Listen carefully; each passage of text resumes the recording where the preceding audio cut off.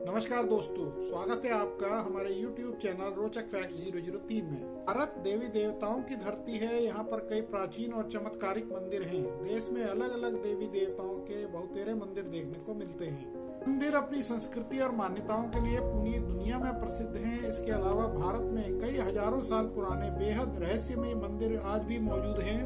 के रहस्य से विज्ञान भी प्रदान नहीं उठा पाया। एक ऐसे ही प्राचीन मंदिर के बारे में आपको बताते हैं जो अपने रहस्यों की वजह से प्रसिद्ध है। यह रहस्यमयी मंदिर बिहार के सीतामढ़ी में स्थित है।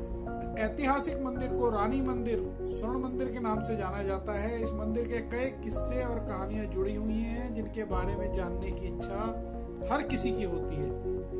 इस मंदिर की बनावट भी बेहद खूबसूरत है। इसके खम्भों पर शानदार नक्काशी की गई है, जो इसकी सुंदरता को और बताया जाता है कि इस खूबसूरत मंदिर निर्माण करने वाले कारीगरों के उस समय हाथ कटवा दिए गए थे, लेकिन इसका कोई सबूत नहीं मिलता है। इस मंदिर में कई ऐसे रहस्य हैं, जिनमें ईंटों के अंदर मौजूद गुफा भी शामिल है। रात के अंधेरे में रोशनी दिखाई देती है वहाँ पर और पायल की झनकार की आवाज़ भी आती है। बताया जाता है कि यह आवाज़ दो किलोमीटर दूर तक सुनाई देती है। स्थानीय लोग बताते हैं, यह पायल की आवाज़ रानी राजवंशी कुंवर की है। मंदिर का निर्माण लगभग डेढ़ एकड़ ज़मीन में किया गया है और इसकी बनावट आगरा के ताजमहल से मिलती जुलती है। आ जाता है कि रानी राजवंशी कुंवर ने मंदिर को बनाने वाले चारों कारीगरों के हाथों को कटवा दिया था।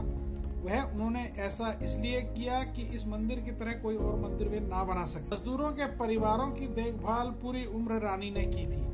मंदिर के पीछे दीवार पर इसका निर्माण करने वाले मजदूरों की प्रतिमाएँ बनाई गई हैं, जो इस बात की सबूत हैं। इस मंदिर के सोने के मुकुट और सोने के आभूषण चोरी हो गए हैं। यह भी कहा जाता है कि इनको दबंगों ने कब्जा कर लिया है।